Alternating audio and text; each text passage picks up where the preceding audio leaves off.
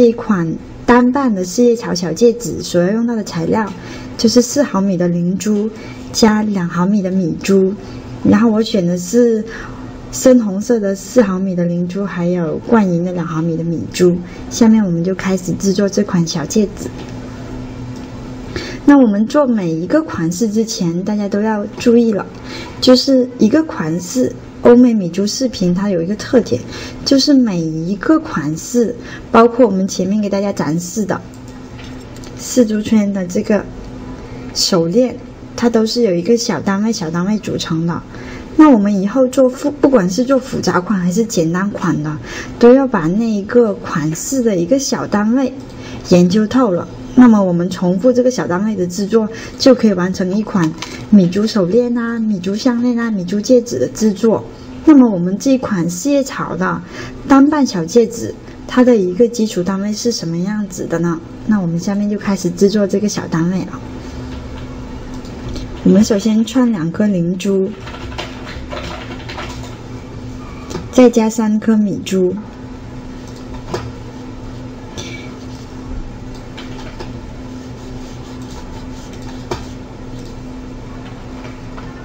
两颗灵珠，三颗米珠，然后我们做一个回针。回针在前面那节课也有讲过，那我们现在再演示一下，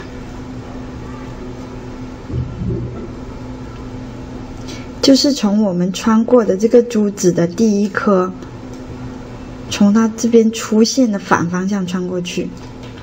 那我们这个四毫米的灵珠就是第一颗珠子，我们就从这边。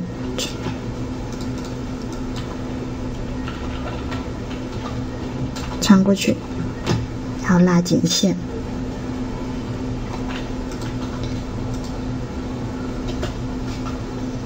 我锯一下脚，我放在这里锯一下脚，给大家讲解一下一个这个小单位，一颗灵珠，三颗米珠，一颗灵珠，这个就是。一个四叶草的一个小单位了。那我们之前也有讲过，灵珠因为它的这个角比较锋利，所以这个线可以在灵珠里面就是重复的绕个一到两圈。然后我们就根据这个线的走向，继续在这个珠子里面走一次。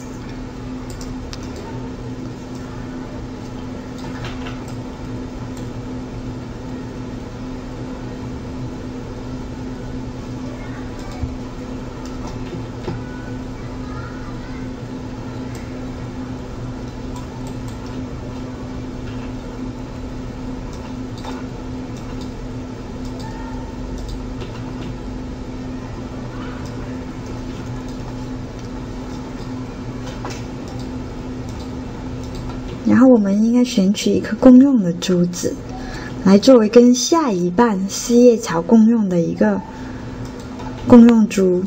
那我们可以选取这一颗，因为我们是这样子走过来的，两瓣、三瓣、四瓣就组成了一个四叶草。那么从这里以这一颗为共用珠子，以这一颗为共用珠子，我们穿过这一颗。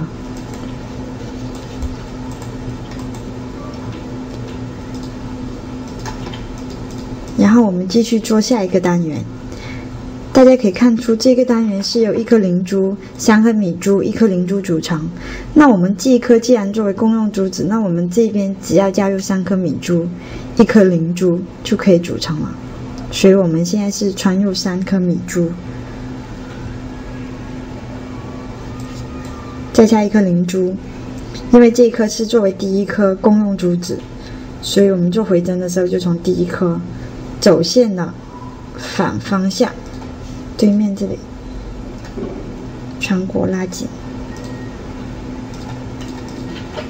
好了，第二瓣四叶草已经出来了，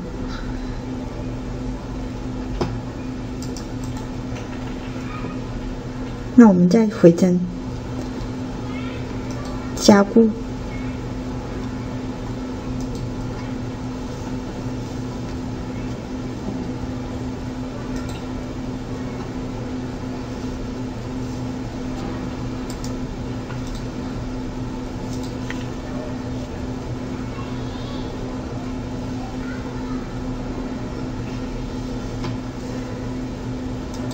然后，因为我我们下一半就是以这一颗为公用珠子，所以我们的针首先要穿过这颗公用的珠子。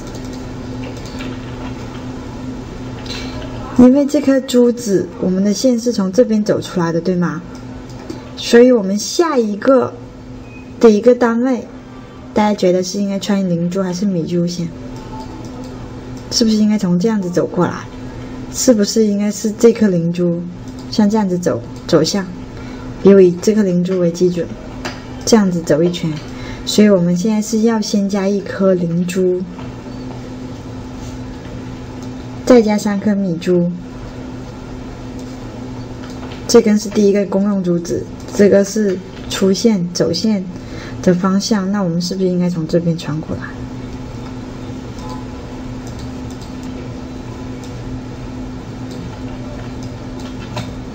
大家看到了吗？你看，第三瓣四叶草就出来了。那你发现有没有发现，这个外面的三瓣已经出来了，现在已经有四瓣中间的这个灵珠了，四颗灵珠了。那这颗跟这颗，再想一下，如果把它组合起来，把它这样子组合起来，是不是就成了四叶草啊？所以最后一颗，我们是不是要跟第一颗第一瓣、第四瓣跟第一瓣，是不是应该要连接起来，才能成为一个四叶草？不然它的走向就是这样子，一直往前走，一直往前走。所以这个时候我们做花瓣就要把第一瓣跟第四瓣这样子结合起来，那就是这一颗功用跟这一颗功用，第一颗。跟最后这一颗公用，那我们应该怎么做呢？我们首先穿过这一颗，最后这一颗公用珠子。如果是这样子的话，是不是？如果是这样子的话，是不是只要加三颗米珠就可以了呀？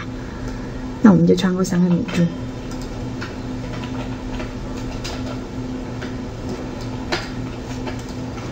然后从这一颗公用珠子。的这边穿过，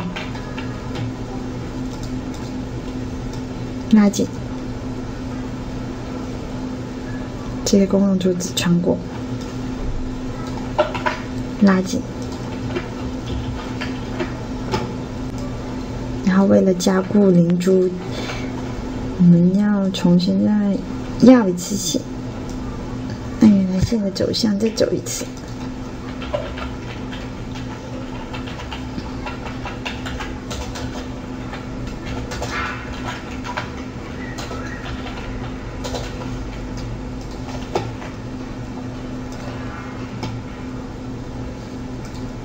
大家可以看一下，这样子我们来了。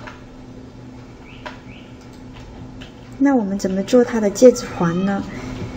可以从这边一直连，绕过对面这一边，然后我们大家可以根据自己手指的大小，就是可以跟你是想要放在中指呢，还是无名指呢，还是食指呢？就是根据这个大小来穿这个珠子。